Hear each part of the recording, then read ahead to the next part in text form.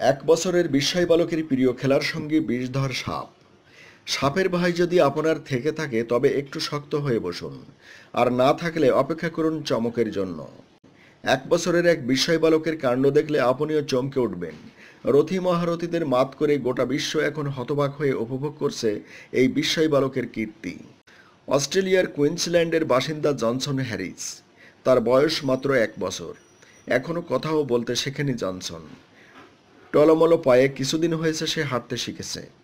ইতোমধ্যেই পছন্দের খেলার সঙ্গীও পেয়ে গেছেন জনসন। তবে জনসনের প্রিয় খেলার বস্তুটি হলো একটি সাপ।